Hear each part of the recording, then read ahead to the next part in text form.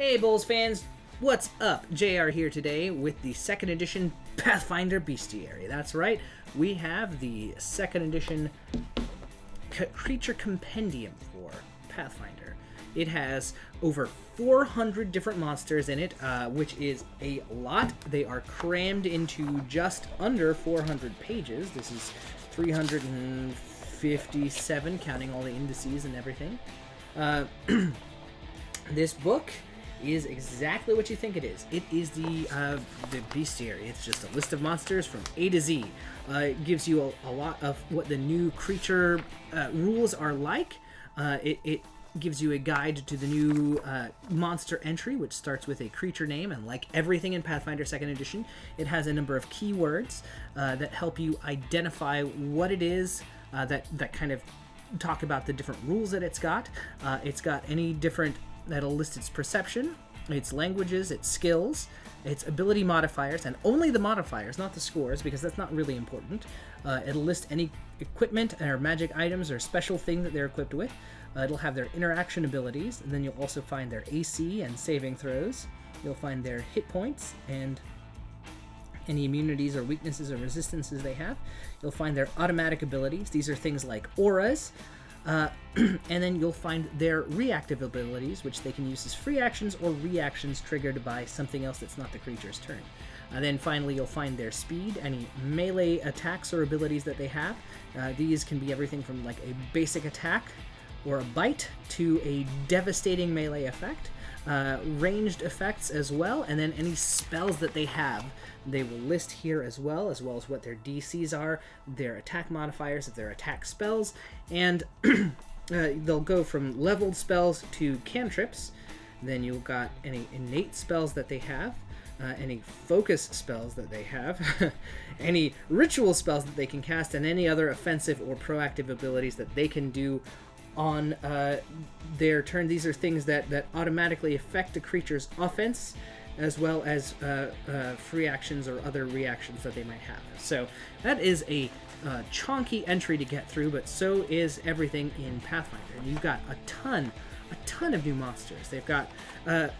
I love that they kind of start off with the more cosmic stuff. Like right out the gate, you have the aeons, and then you get into more like traditional things. You've got the uh, Azata, you've got the uh, Lillends, you've got the like, you've got Celestials straight straight from the get go. You've got Banshees, you've got Baumals, you've got Bears. Uh, they just have everything here. Now it is an alphabetical listing. Uh, they also include uh, indexes of like monsters by level, uh, as well as monsters by you can find type.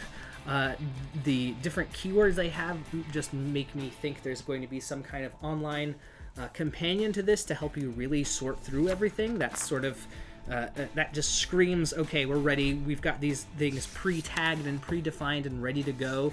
So when we have an app coming out, we're ready to launch. Uh, there's just a ton of stuff, and the artwork here is amazing. Uh, you've got the the crazy uh, Leuko and Astra Daemons. These are the D A E M O N's. Uh, which include the Cacodemon, uh, looking looking like he's got an upgrade since his early Doom days, uh, as well as a few other familiar uh, faces. You've got Deep Gnomes, you've got the uh, Pathfinder interpretation of the, the demons and devils, uh, which are out of the monster manual from D&D. You've got your Succubus, your your Glabrezu, your Vrocks, your Mariliths, your uh, uh, Balors and Pit Fiends as well, uh, your Lemures and all that stuff, because all of that stuff is still there. It's it's great. You've got your chromatic and metallic dragons. Uh, you have got all of the different rules. Let's take a look at one of the monsters in here.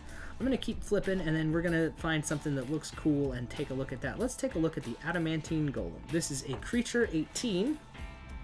Uh, it has a uh, 26 perception bonus. It's got dark vision. It's got a plus 38 to athletics. So that kind of gives you right away uh, a, a, good idea of the kind of scale you're getting at here. Right? This this game doesn't mess around. Uh, you're going to be rolling big numbers. You're going to be uh, doing lots of damage, and you're going to need to. Uh, you're going to need large bonuses because this has an AC of 42.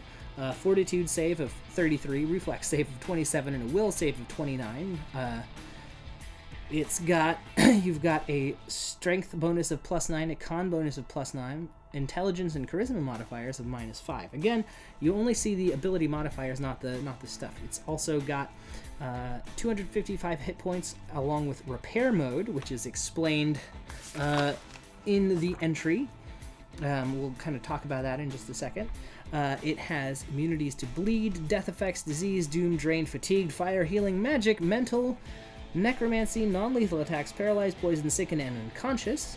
Uh, it's resistant to uh, it's resistant 20 to physical damage except for Vorpal or, adamant, or Vorpal adamantine weapons. Uh, it has Golem anti magic. It is harmed by acid. Uh, it takes 9d10 or 2d10 from areas of persistent damage. It is healed by fire in the area. It takes 2d10 if it's and slowed by electricity. Uh, repair mode. When the adamantine golem is at zero hit points, it isn't destroyed. Instead, it enters repair mode, during which it is slowed one and can't take reactions. Uh, it can take only the self repair action outlined right here. Uh, once it has more than 30 hit points, it can use any type of action and can use reactions, though it remains slowed and can't take any other things uh, until the start of its next turn. If a critical hit with an adamantine vorpal weapon reduces it to zero hit points, or if it hits it while it's already at zero hit points, then it's destroyed. These things are tough, they're meant to be tough. Uh, it is, however, vulnerable to dispelling. The golem can be targeted by disjunction and dispel magic. Uh, if such a spell, uh, ninth level or higher, targets it, the golem has its resistance lowered to 15 and is slowed 1 or slowed 2 if in repair mode uh, for a d4 rounds. During this time, if anything reduces it to zero hit points, it is destroyed. So you've got a way if you don't have an adamantine be weapon to kill it. Uh, we also see it's got a speed of 30. We see one of the new attack entries. Uh, it uses its fist. Uh, it is a plus 35 attack bonus. It tells you what its damage is. However, it also includes some of the new weapon traits, um, which are you'll need to learn and understand what they are. Uh, this is deadly 3d12. Uh, it is magical. It has a 15 foot reach. Uh, it does 3d10 plus 17 damage with its bludgeoning. Plus, it also does destructive strike, which is on a critical hit. It breaks the target's armor, if any, in addition to dealing damage. If the target has a shield raised, it breaks the shield instead. Then it's got its inexorable march, which lets it kind of uh, ramrod forward. Creatures can try to get out of the way by attempting a DC 45 Fortitude save. Uh, and it's got different uh, different abilities that happen based on whether you get a critical success, a success, or you fail. Uh, talks about its self-repair mode. Again, it gains 30 hit points whenever it does that.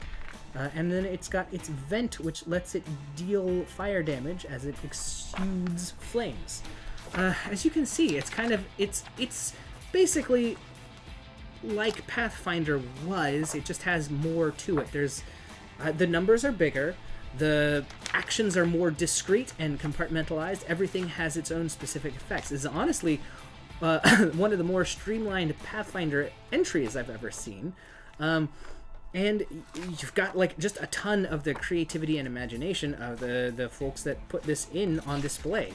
You have uh, Pathfinder has everything from the typical D and D fantasy things like werewolves and gnolls and uh, uh, will o wisps and wights and all that stuff to a, a, bunch of their own like creations like the Xulgath um, or the Zariman and uh, their various flavored demons and gods and devils and all of that stuff. You've got big foes, you've got little foes, you've got in-between foes, uh, and then you've got uh, things that explain all of this is a glossary that explains all of the different uh, types and keywords that you can find in there.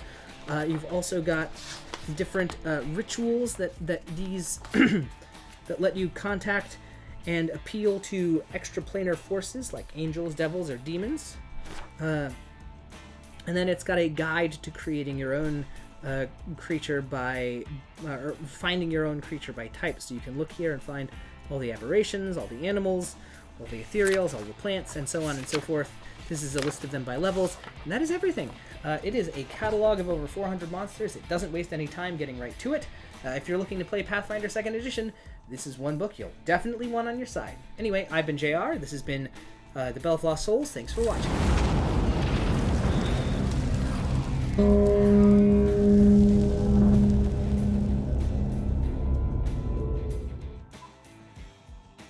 Click to subscribe. Check out more videos.